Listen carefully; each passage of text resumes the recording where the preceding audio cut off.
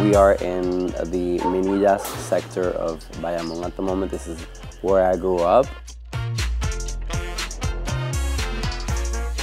I had a lot of fun growing up here. When summer came along, my parents would drop me off at my grandma's. It was happy. It was happy. Like I can't say it wasn't. I did whatever I wanted to. I was barefoot all the time, running around. And I loved going to my grandma's because it was like free turf. I did whatever I wanted to do.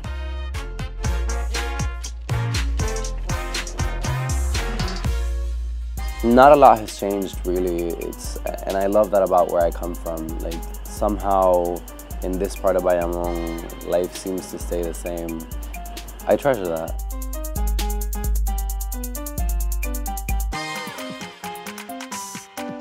There's a lot of iconic places here in Bayamon. Like El Canton Mall is a mall, a mall that's like literally falling to pieces. You go in and like there are like pieces of the roof are like missing. Like what's going on here? So I think I think that's iconic. I think it serves as like even a metaphor of like how Puerto Rico is and how we survive here.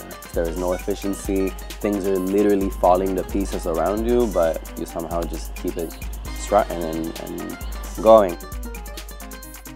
I think this is pretty iconic to me because I spent a lot of like my childhood here. It's uh, basically a baseball field and it's like something we have here as like a community centered thing. And this has been here since I can remember and I did like a lot of bad things around here. Good things, you know, good bad things, things that you have to do when you're young.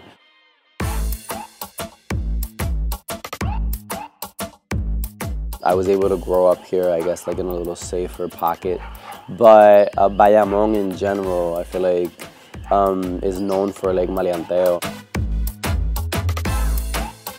Being the home of like hijo puta. I feel like that's something we take a lot of pride in. We are a proud people, especially like in Bayamon, and we're also proud of like our roots and our calle and like, I don't know, the, the way we like handle things. There's a lot of violence in Bayamon. I'm not proud of that, but um, I guess it gives you an edge.